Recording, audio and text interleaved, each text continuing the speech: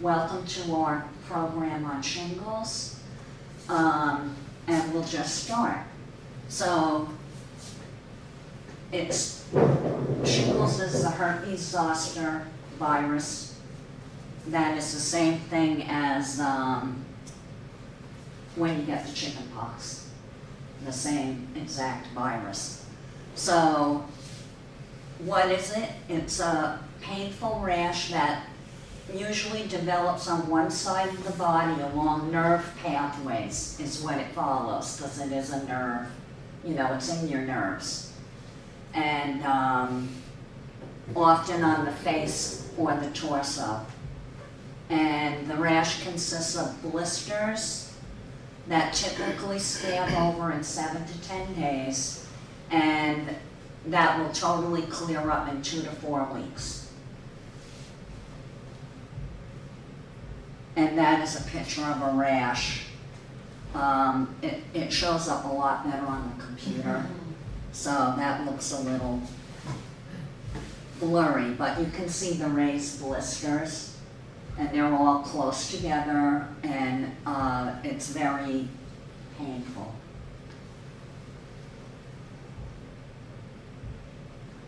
And these are the places where the rash, am I leading you way there? Where the rash often occurs, um, in a single stripe around your body, on either one side or the other. It won't be on both. Or even the blisters develop, itching, burning, a tingling where these things are gonna pop out. Uh, and you'll feel these symptoms one to five days before you actually see a rash.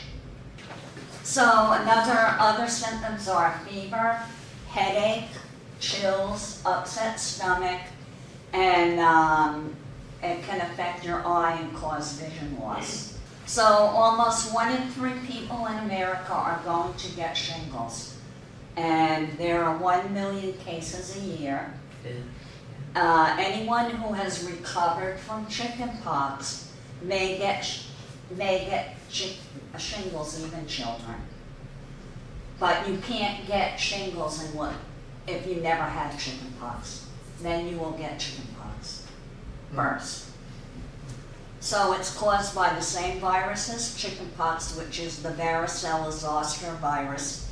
And the virus remains dormant after chickenpox and can reactivate later in life.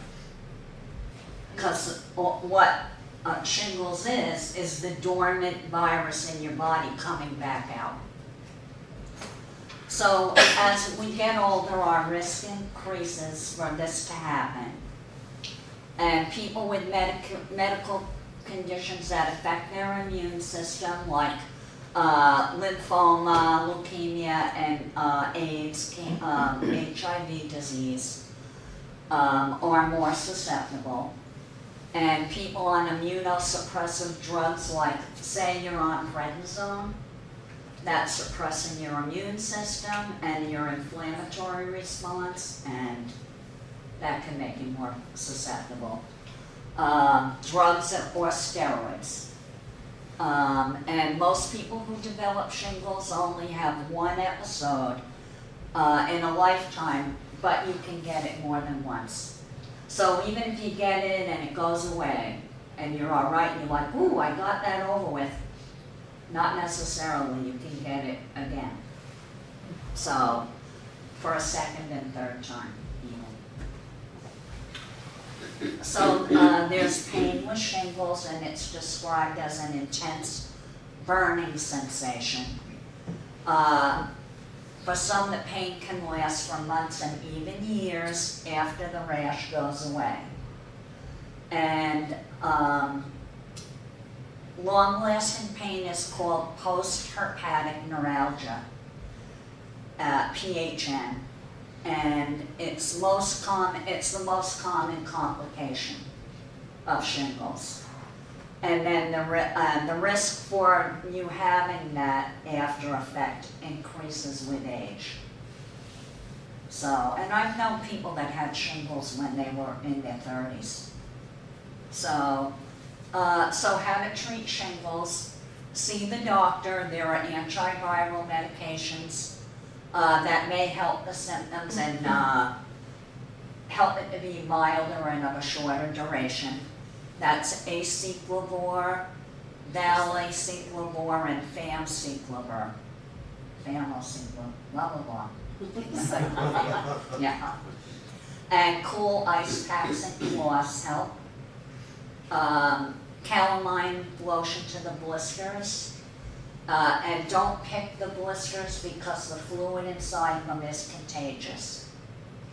So, uh, uh, and, uh, not contagious before or after the blisters heal.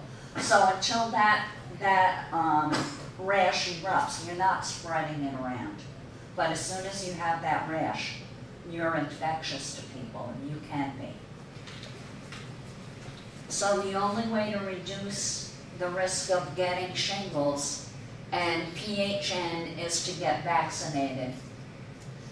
Uh, the CDC recommends that healthy people ages fifty or older get two doses of the- the shingles vaccine. The new one is two doses. And, um, that was approved, um, at, at Shingrix, and it was approved in two thousand seventeen. Previously, people were given, um, Zostavax, and that was one shot.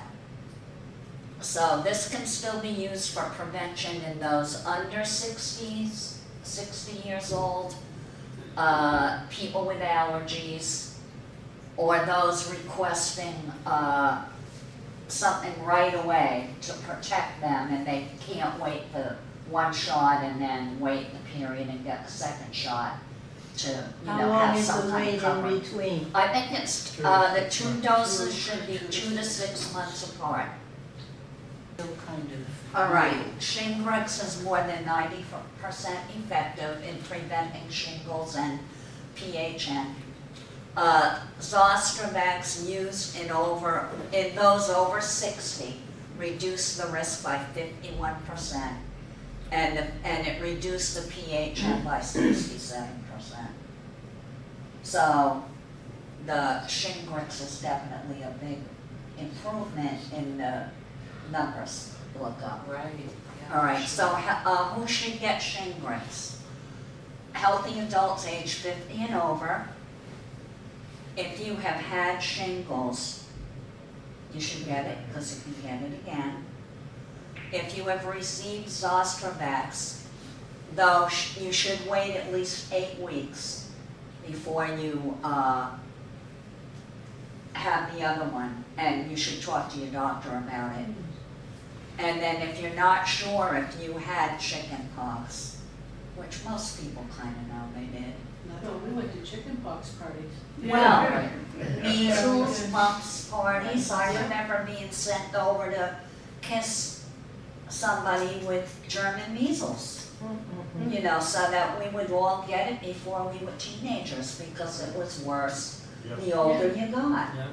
And, uh, and we, were we lived to tell about it, here we are. And I remember the mumps when I was five. One side and the other side, I had it twice. So I had chicken pox when I was fourteen. I had German measles. We- So you we couldn't had escape the chicken pox when you were little. Sometimes you forget if you had it or not. everything. Yeah, yeah, You know, because it was probably itchy and, right. and you didn't pay no And if you attention. picked one of those Scabs. things, you Yeah. ended up with a little Yeah. bit of a Yeah. scar. A scar from it? Yes, Yeah. yep. So, um, there's no maximum age to get this, um, vaccination. And there's no specific time to wait for, uh, the vaccine after having shingles. So if you had, you know, your shingles, uh, but you should, the rash should be gone. So who should not get this vaccination? people with an allergic reaction history to any component of the, a vaccine, any vaccine.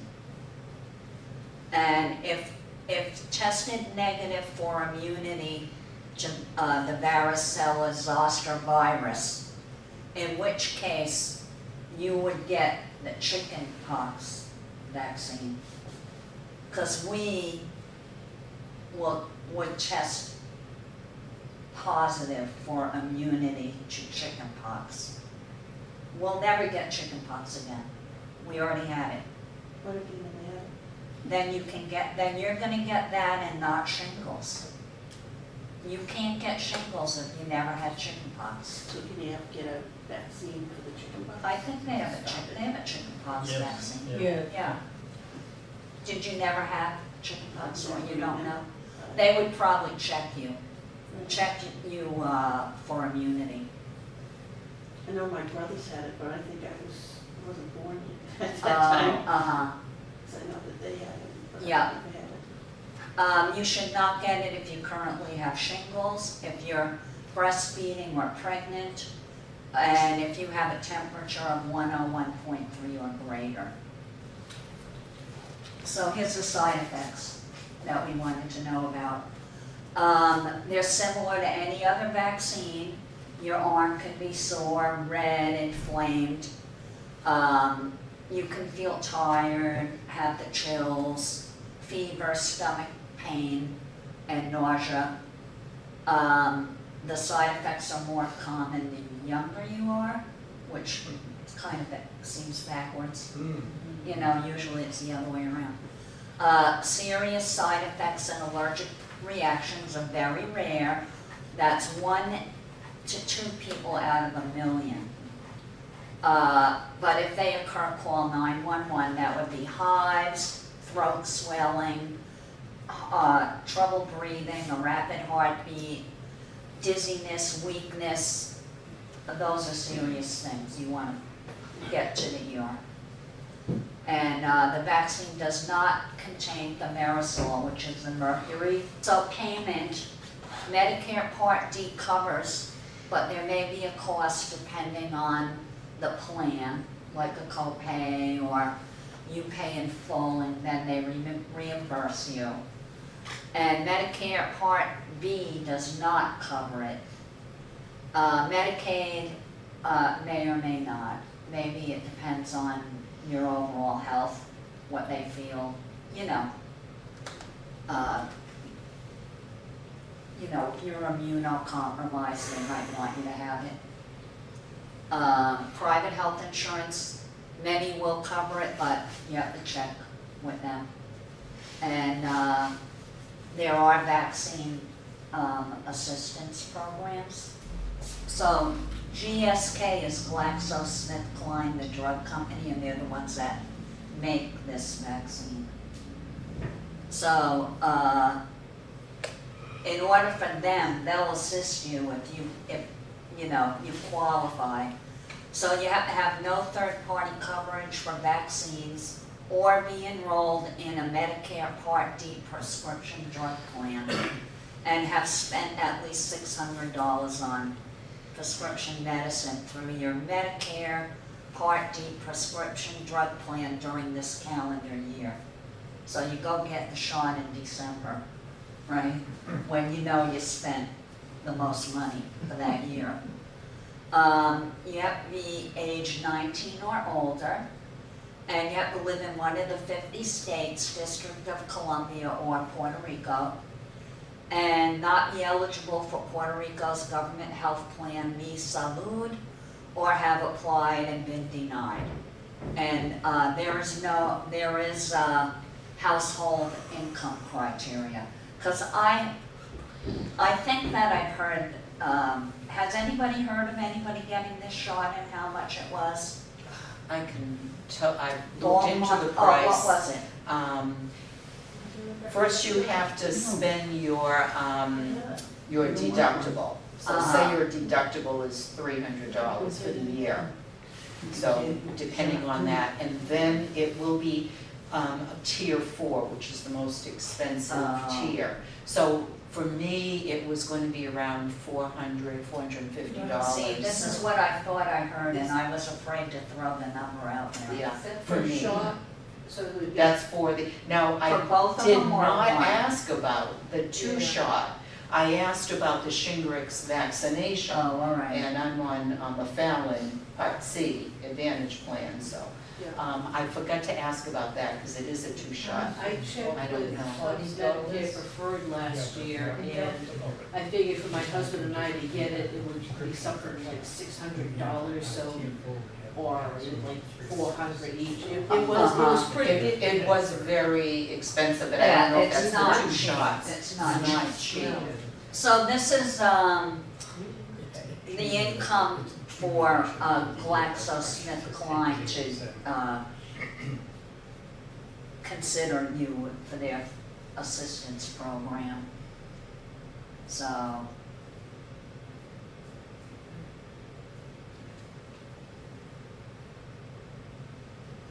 Well, who is, what household of one has an income of two thousand five hundred dollars? I mean, where would you be living if that was your income?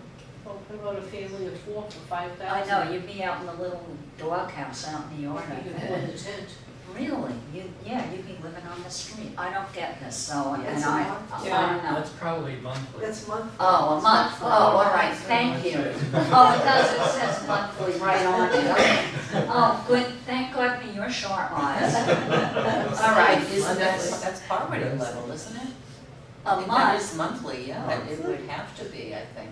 one person, two thousand five hundred, I don't think that's poverty No, level. that's not poverty. No, Or it might just be over. Well, that would be, uh, twenty-four thousand a year plus, you know, uh, That's not very much. thirty grand a year, I think is Right. what roughly it works out to, right?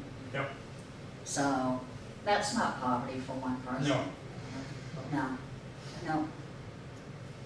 So, that's that end of it. And that's the end of it.